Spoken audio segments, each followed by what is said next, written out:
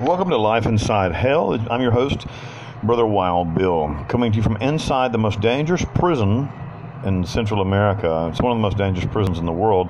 Dangerous meaning prisoners walking around with guns and shit like that. Um, and a lot of people die here all the time. It's like a big concentration camp. Anyway, this is my audio diary. I'm the prison's chaplain as well as an inmate. I'm serving a 46 year sentence. I'm obviously an American inside a Panamanian prison. Imagine the difficulty that is. So, one of the things that I do all the time to keep my mind sharp and to just escape from this hell that I live in um, is read. I read a lot. And that is when I have books. And my friend, a friend of mine, a dear friend of mine, went free and he left me about 30 or 40 books. About 30. So I've been reading them and I'm through them now. I'm, I'm like reading the very last one that I had of all of them right now. I'm reading it and I wanted to review a few of them real fast and like a really quick thing and give you an idea of uh, of what I thought about them. Okay, so we'll do we'll try to do four books really fast right here. This is an interesting book.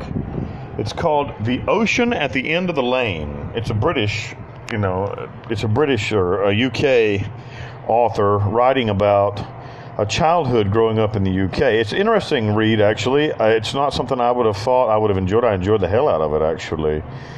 It's like the guy drifts into he starts exploring his past and starts remembering shit that he didn't know he that actually happened. And his neighbors who lived way down at the end of the lane were actually like goddesses like old time goddesses. And even though they looked like an old lady her daughter and her and her granddaughter.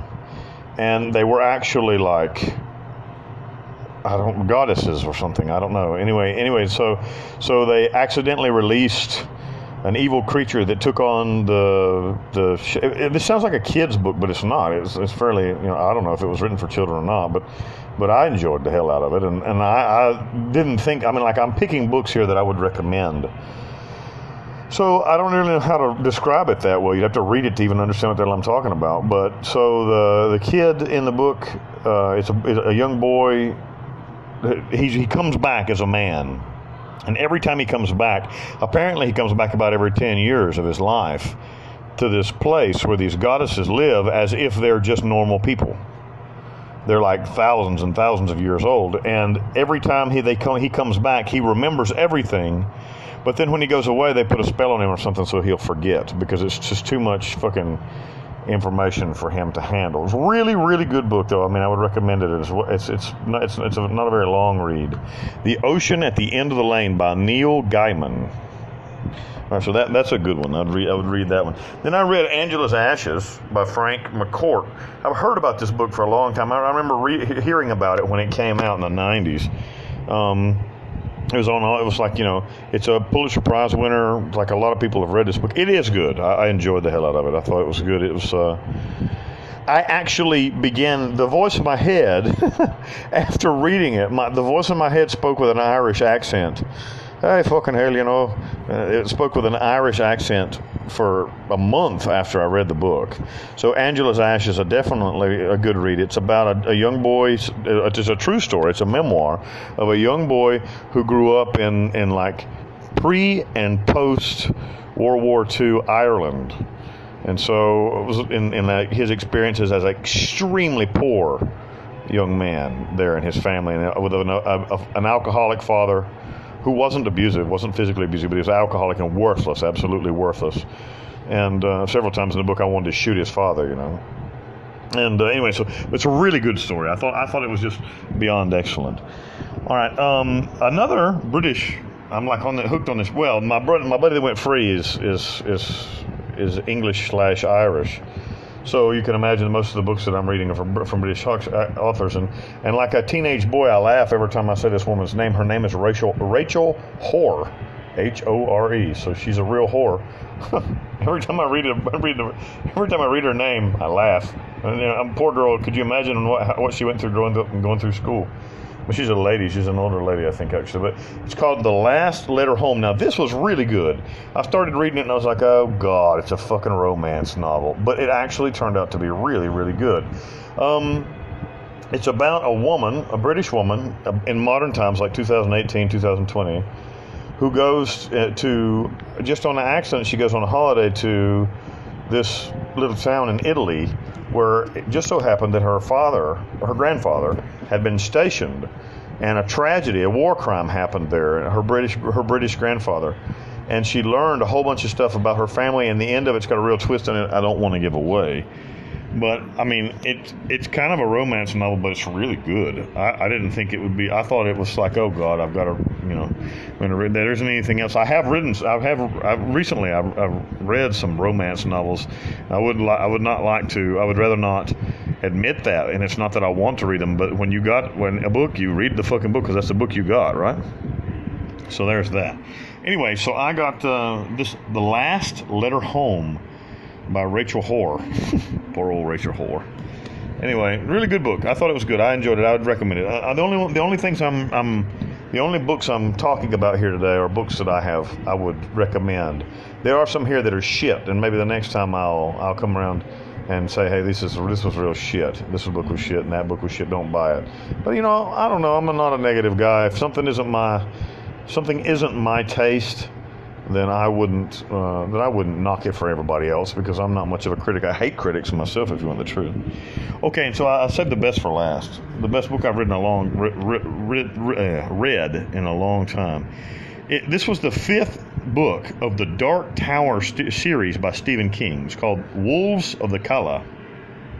I want you to know, as fine a book as I've ever read, a fiction. It's a fantasy story uh, and it's so, and it's set in this world that Stephen King has created. There's seven books in the series, and so like you can think about how difficult it is to pick up number five in the series and start reading it. But I'll tell you something: if there's, I am so, I want that series so fucking bad, the Dark Tower series.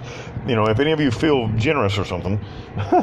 I want the Stephen King, the Dark Tower series. I don't know how to get it here. Is the problem? I don't know how to get it in, but I want it so badly. Uh, after reading this book, this was I, I, I, just was devastated when the book was over. You know, I, especially knowing that there are two other books in, in the series past this one and four before it. I, I would love to start at book number one and read it all the way through, and that would also last me probably several months. Um, because I, have never read a, a, a, fantasy series that I enjoyed as much as that. Uh, the, base, the basis of the story is that, that our world is just one of very many. And there is a thing called the Dark Tower, which is at, at the intersection of all dimensions and all worlds. And the Dark Tower is about to collapse. And the main character is a guy named Roland Deschain. I think is his name. Deschain? Roland Deschain. I'm looking at the back of it right now, and he is what's called a gun a gunslinger, and this is like a creed. Uh, it's like a fantasy western. I don't even know how to describe it. There's no reason, there's no way to describe it. I don't think. But anyway, so there, he's his quest is to get to the Dark Tower to stop it from falling, stop the world from ending the universe from ending because like and so like he can go between worlds. Our world is one world but but it's not the main world. It's not even the main world actually. Mid world is a world. There's there's like a whole bunch of different worlds you know? And so they they go in between them and they like it's it's anyway it's it's so fucking good. Uh, I, I would have if I read the back of the book I would never have wanted to read it it was like, eh, doesn't even, it sounds kind of stupid. But it was so good. It really, really was good. I'm actually reading another Stephen King book right now that I've seen the movie, but I never read the book or the series, The Tommyknockers. I'm reading it now. It's really interesting.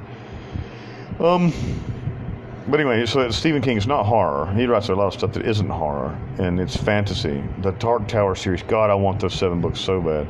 So if you get a chance, if you want to read something interesting, even if, I think that anybody that even didn't like fantasy would like this book because fantasy is not necessarily my thing. I mean, I do like some things. I like the Lord of the Rings, and I also like. I tell you another series that I'd love to have again.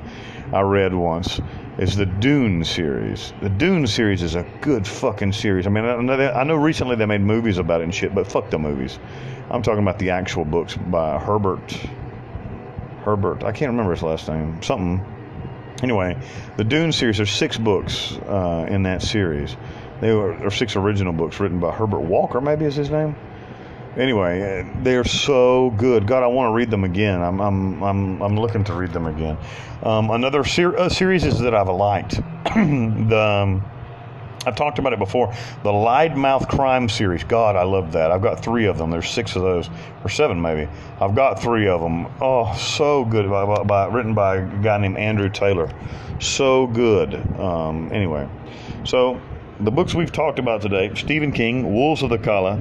Go pick up the, the Dark Tower series. It's excellent. Rachel Hore, poor old Rachel.